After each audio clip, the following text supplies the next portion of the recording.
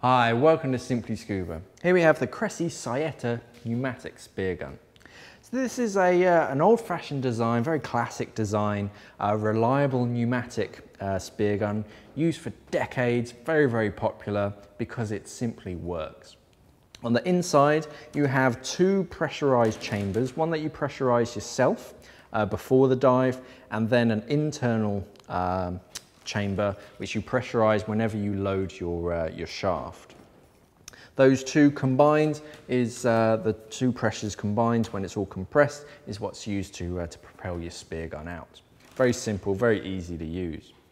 Taking a closer look at the, uh, the main handle and sort of trigger mechanism, very lightweight. You've got this bright white um, sort of soft grip uh, handle. Very nice grip, nice and angled. So uh, with an outstretched arm, it, uh, it gives you a nice angle um, to, uh, to aim down. Plenty of grip, even with a gloved hand, and it's bright white so that if you need to leave your gun in the water, it's easy to, uh, to find again.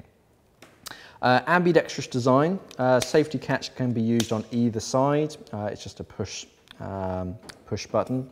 On the underside of the trigger, you have a, a little line release uh, to, uh, to load your line. Simple trigger mechanism, uh, very simple, easy to use. At the bottom, you have these two little sections to, uh, to attach lines and lanyards onto. Uh, you can charge your gun through there uh, when, you first, when you first get it. Moving down the shaft, the shaft is uh, just a standard uh, cylindrical shape. It's matte black, so it's not going to uh, re reflect too much light. On the underside, you have another um, notch for your line. You can attach any bungees if you want onto that. And then you have the, uh, the muzzle.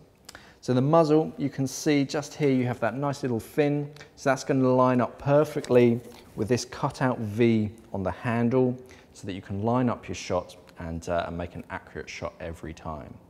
Very, very reliable, very, very tough, um, favored by divers all around the world. This is the, uh, the Cressi Saetta spear gun.